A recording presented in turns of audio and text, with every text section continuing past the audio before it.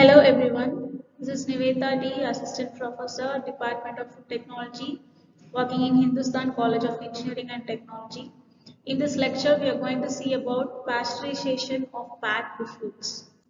Pasteurization is nothing but a method of heat treatment. Uh, it is a thermal processing method. This method is used to inactivate the enzymes uh, present in the and also it will kill the heat sensitive microorganisms. So through this uh, we can extend the shelf life of the food product and uh, when stored at 4 degrees Celsius. This can be applied to all range of food products especially liquid foods such as milk or bottled fruit juices. This will extend their shelf life to several months.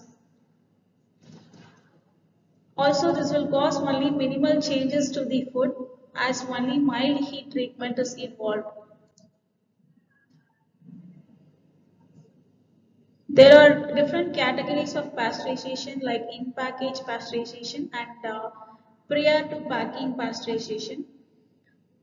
The method of pasteurization involved are two types like LTST and HTST which is nothing but low temperature short time and high temperature short time.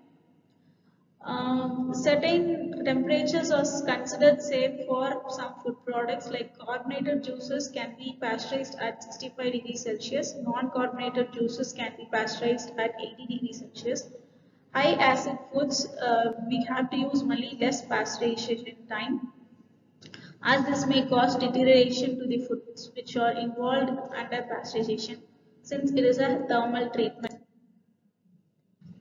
So in-package pasteurization is nothing but the one which involves uh, treatment of foods inside the package and uh, we do not require any sterility level for heating in this type of packaging or pasteurization.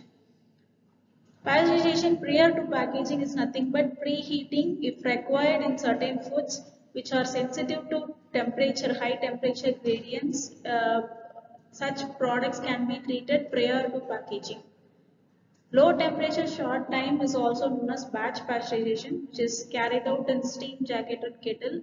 Uh, the temperature range is 62.8 degrees Celsius for 30 minutes whereas the high temperature short time which is also known as a continuous pasteurization which is carried for about 15 seconds but whereas the difference in uh, low, between low temperature and high temperature or the temperature is 71.7 degrees Celsius uh, and but it is uh, carried out only for a short duration of 15 seconds only. Here in this high temperature short time there are different types of heat exchangers are used to uh, this heat exchangers are used based on the different product viscosity and also uh, water or steam is used as a heating medium.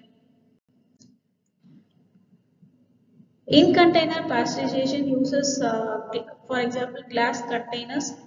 Hot water processing is used to reduce the damage due to thermal shock and it is cooled for 40 degrees Celsius to evaporate the surface water. This will result in minimal external corrosion because of evaporation of surface water. This process must be carried out. In batch process, the packaged foods are heated in a warm uh, water bath which is set at a preset temperature and then held for a length of time whichever is required. And in cold water is then pumped over the cooled product. In continuous process, a long drum is fitted with a conveyor belt to carry containers through heating and cooling stages.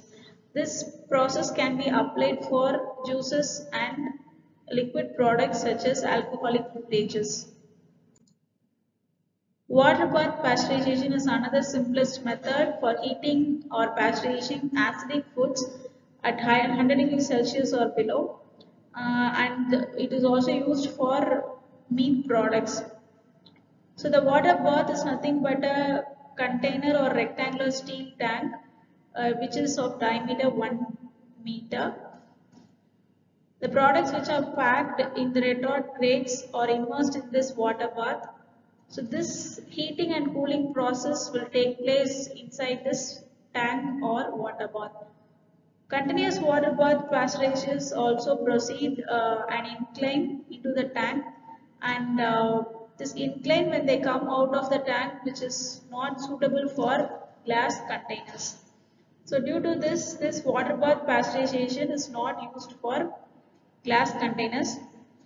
The products which are suitable for water bath pasteurization are apple sauce and pickles. Continuous steam or water spray pasteurization is also one another method used for foods which are already packed. So this in this uh, the bottles and the cans are conveyed through the pasteurizer by walking beam or conveyor belt.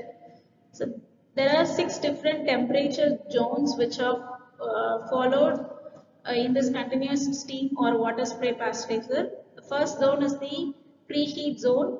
First preheat second preheat pasteurizing zone followed by pre-cooling, cooling and final cooling zone.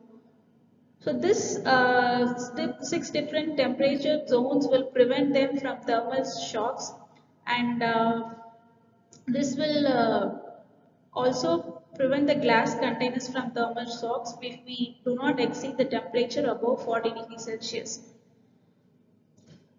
Inside this uh, continuous steam or water spray pasteurizer, there is a cloth baffle uh, which is hung between the each section and uh, this is uh, done in order to hold the steam in the pasteurizer against strong air currents.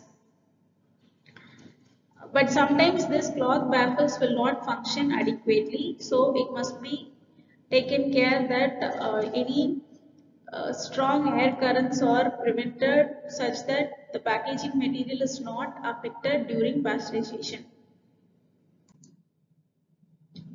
The another method for impact pasteurization is tunnel pasteurization where hot water sprays are used to heat the containers as they pass through the different heating zones of the tunnel and cold waters are sprayed through tunnels for cooling uh, during the later heating zones.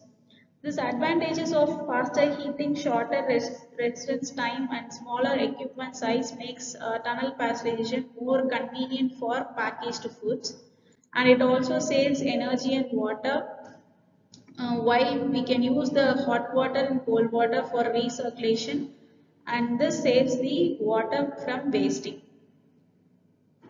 So the temperatures in the heating zones are usually gradually increased by reducing the amount of air in the steam air mixtures and the cooling takes place using water sprays or by immersion in a water bath. These are the references which are used for this topic. Hope this lecture will be useful. Thank you.